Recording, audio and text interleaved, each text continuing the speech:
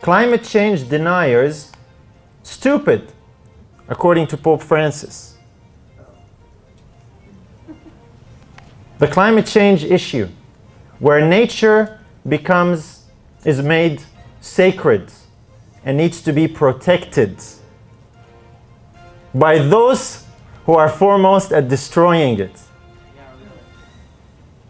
These are the issues. Now, how, how, what does this have to do with worship?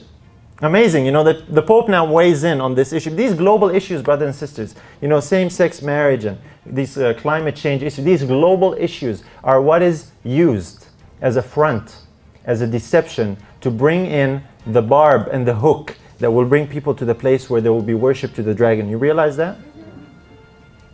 These are not just, uh, you know, random things we, we want to talk about. There is a connecting link.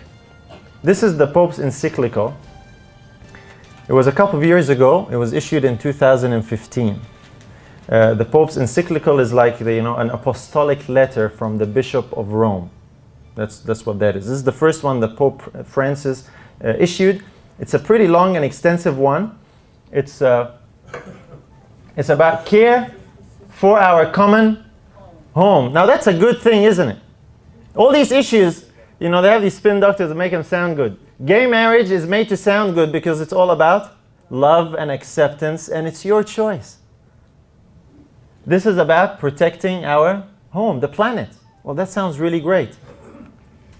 And in this uh, encyclical, it's uh, called Praise to Be, and of course, it's uh, in reference to God. This is what it says. Consequently, this is a few quotes from it up the top here on the right. Consequently, when we contemplate with wonder the universe in all its grandeur and beauty, we must praise the whole Trinity.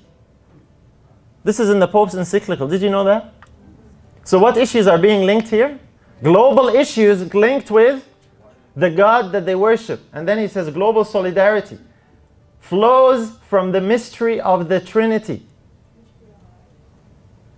Brothers and sisters, there's stuff that's happening uh, behind the scenes that is shaping up for the end.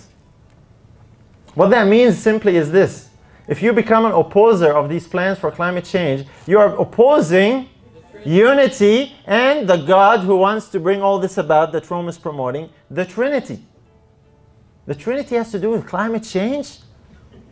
That's according to Pope, not to the Pope, not me. I didn't make this connection. That's why he says in his encyclical about protecting the environment.